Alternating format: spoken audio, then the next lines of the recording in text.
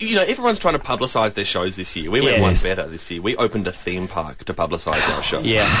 Where? Marucci door. Did you? Do you want to hear about it? I mean, oh, God, yeah. I feel like it would be rude at this Do you point if I said about it? You're no. here and set up. I would so, love to. Yeah. When you're Feeling low. There's a place that you can go. Set your spirit free. A 50 minute drive from the CBD. Your wish is our command. At Sammy J and Randy Land.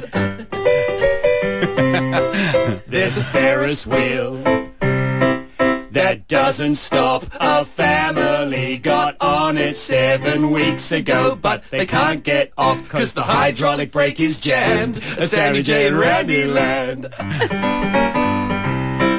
There's a circus show. But the clowns have quit. The lion tamer didn't tame the lion. And it killed a kid. We covered up the blood with sand. At Sammy J and Randy Land. Ghost train. Arcade games and a roller coaster you can ride. The fortune teller's recently been banned. For running a meth lab at Sammy J and Randy Land. Take it, Randy.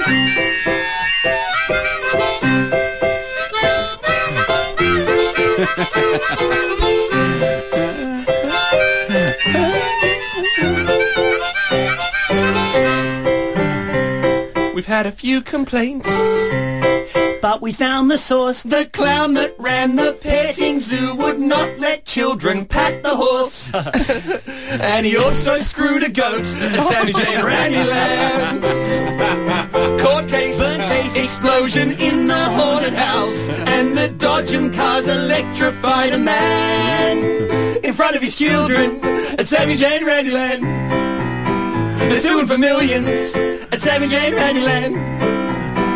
So we're going on the run. But if you're looking for some fun, we'll see you in Paris, Euro, Sammy J and Randy Land. Yay! Oh, yeah.